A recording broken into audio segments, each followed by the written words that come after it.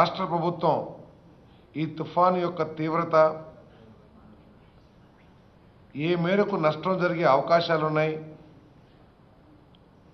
ఏ మేరకు గాలులు వీస్తాయి ఏ మేరకు వర్షం పడుతుందని చెప్పేసి ఉత్పన్నం కాబోతున్న భయాందోళన పరిస్థితుల్ని టీవీల ద్వారా పత్రికల ద్వారా తెలియజేస్తూ ఉన్నారు. దాదాపు ముప్పై ఐదు లక్షల హెక్టర్లలో హెక్టర్ల పైగా ఈ రాష్ట్రంలో వరి సాగు ఖరీఫ్లో సాగు చేయటం జరిగింది. దాదాపు నలభై ఎనిమిది లక్షల టన్నుల వరి ఉత్పాదనకి కేవలం ఇప్పటికీ పది లక్షల టన్నులు మాత్రమే ఈ ప్రభుత్వం కొనుగోలు చేసినట్లు రికార్డుల ద్వారా అర్థమవుతా ఉంది. ఈరోజు పరిస్థితి ఏమిటంటే అనేక లక్షల ఎకరాల్లో ఇంకా కోతలు పూర్తి కాలేదు. అనేక లక్షల ఎకరాల్లో కోతలు కోసి పోగులు పెట్టుంది వరి పంట అంతా కూడా. ఇంకా కుప్పలు కూడా వేసిన పరిస్థితి లేదు. మరి కొన్ని లక్షల ఎకరాల్లో కుప్పలు నూర్చి ధాన్యం అంతా కూడా కళ్ళాల్లోనే ఉంది. వాటిని చూసుకుని రైతు బెంబేలెత్తున్న పరిస్థితులు మనందరికి కూడా అర్థమవుతా ఉంది. ఇటువంటి పరిస్థితుల్లో పూర్తిగా ఆసరాగా ఉండి భరోసా కల్పించాల్సిన ప్రభుత్వాధినేత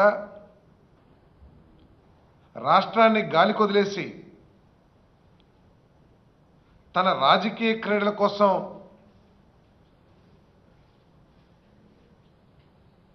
దేశాటన చేస్తున్న పరిస్థితులు మనం చూస్తూ ఉంటే సిగ్గేస్తుందని చెప్పేసి మనం చేస్తా ఉన్నా నేను. ఈ రాష్ట్రంలో క్షుద్రపాలన జరుగుతుందేమో అని చెప్పేసి ఒక్కోసారి అనిపిస్తూ ఉంటుంది.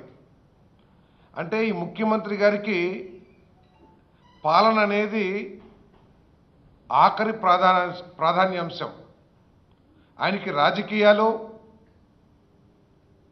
లేకపోతే ఇతర పార్టీలతో సంబంధాలు అవే ప్రాధాన్యం తప్పితే ఈ రాష్ట్రంలో ప్రజల సమస్యలు రాష్ట్రం ఎదుర్కొన్న సమస్యలు ప్రాధాన్యం కాదనేది ఈరోజు అర్థమైపోయిందని చెప్పేసి మనం చేస్తా ఉన్నాను నేను. క్షుద్రపాలన ఎందుకన్నానంటే సాధారణంగా క్షుద్ర పూజలన్నీ కూడా అర్ధరాత్రి పూట జరుగుతూ ఉంటాయి. ఈయన కూడా అర్ధరాత్రి పూట అప్పటికప్పుడు అధికారులు పిలిపించుకుని మొక్కుబడిగా ఎదుగో నాలుగు మాటలు చెప్పేసి ఆచరణ సాధ్యం కాని ఆదేశాలు ఇచ్చేసి తన పని పూర్తయిపోయిందని అనిపించుకుంటానికి ఈయన అర్ధరాత్రి పూట సమీక్షలు నిర్వహిస్తుంటే సిగ్గేస్తుందని చెప్పేసి మనం చేస్తాను అసలు ఈ ముఖ్యమంత్రి పరిపాలన చేయటానికి ముఖ్యమంత్రి అయ్యాడా? లేకపోతే ఇంకా ఎందుకు అయ్యాడని చెప్పేసి అనుమానం కూడా కలుగుతుందని చెప్పేసి మనం చేస్తాను నేను. పెతాయ్ తీవ్రతను బట్టి మూడు నాలుగు రోజుల నుంచి టీవీల ద్వారా పేపర్ ద్వారా ప్రచారమే చేయటమే కాకుండా ఈ తీవ్రతను దృష్టిలో పెట్టుకుని అత్యవసర పరిస్థితి కూడా ఈ ప్రభుత్వం ప్రకటించింది. అత్యవసర పరిస్థితి ప్రకటించి సెలవుల్లో ఉన్న అధికారులందరూ కూడా వెంటనే విధుల్లో తిరిగి రావాలి. అధికారులు ఎవరు కూడా బయటికి వెళ్ళకూడదు. సెలవులను రద్దు చేసుకోండి అని చెప్పేసి ఉత్తర్వులు ఇచ్చిన ప్రభుత్వం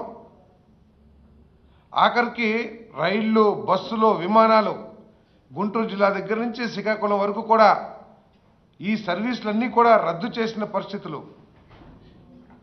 అన్ని జిల్లాల్లో స్కూల్స్ను కూడా మూసివేసిన పరిస్థితి. కానీ ముఖ్యమంత్రి గారికి మాత్రం ఈ అత్యవసర పరిస్థితి ఏమిటో అర్థం కానట్లుందని చెప్పేసి మనం చేస్తామని నేను.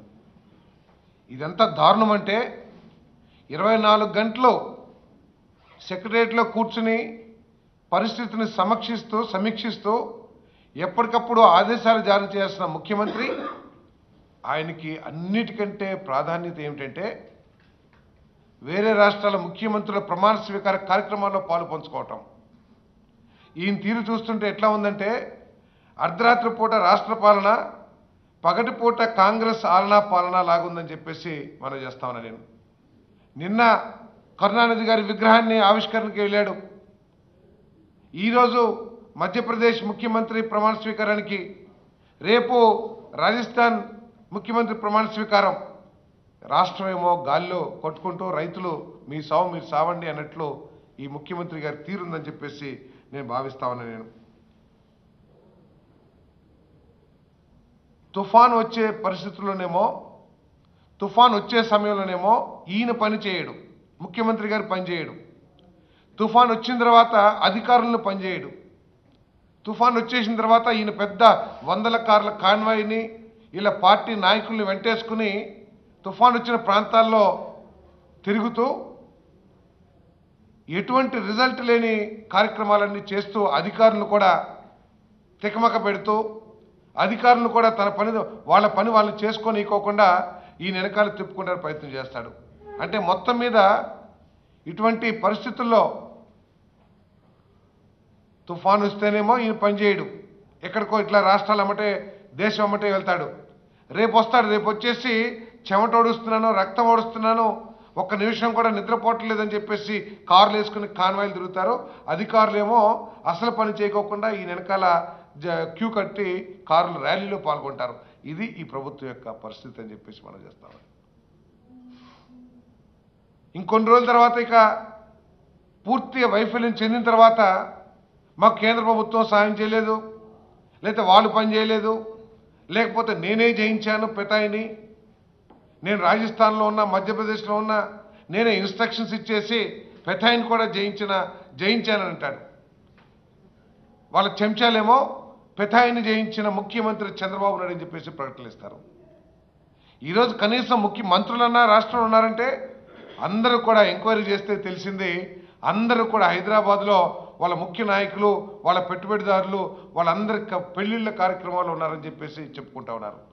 ఈరోజు రా మీరు కావాలంటే వెరిఫై చేయండి. ఈ రాష్ట్రంలో ముఖ్యమంత్రి లేడు ఇటువంటి అత్యవసర పరిస్థితుల్లో. అత్యవసర పరిస్థితి ప్రకటించిన ప్రభుత్వం ప్రభుత్వాధినేత లేడు మంత్రులు లేరు ఈ రాష్ట్రంలో. అధికారుల మీద గాలి కొదిలేసేసి మరి వాళ్ళు ఊరేగుతున్న పరిస్థితులు మీరందరూ కూడా గమనించాలని చెప్పేసి నేను మనవి చేస్తా ఉన్నాను నేను.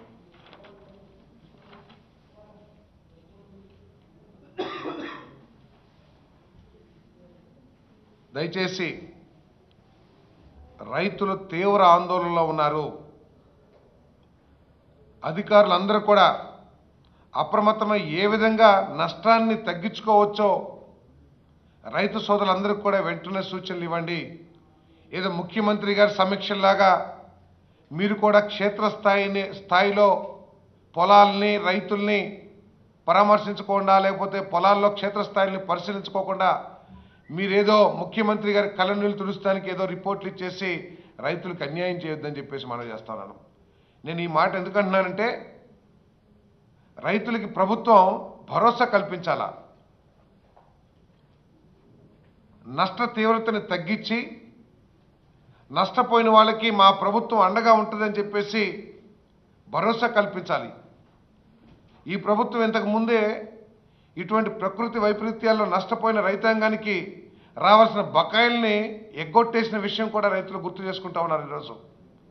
జల్ తుఫాన్లో అదేవిధంగా ఇటీవల కరువు మూలంగా మినువు ఎండిపోయిన పరిస్థితుల్లో రైతులకి రావాల్సిన నష్టపరిహారాన్ని ఎగ్గొట్టారే కానీ ఎక్కడ కూడా నష్టపోయిన రైతులకి ధర్మంగా పారదర్శకంగా నష్టపరిహారాలు ఇచ్చిన పరిస్థితులు లేవో ఇవన్నీ కూడా రైతులు జ్ఞాపకం చేసుకుని ఇంకెక్కువగా దిగులు చెందుతున్నారన్న విషయాన్ని ప్రభుత్వం దృష్టికి తీసుకొస్తా ఉన్నా నేను.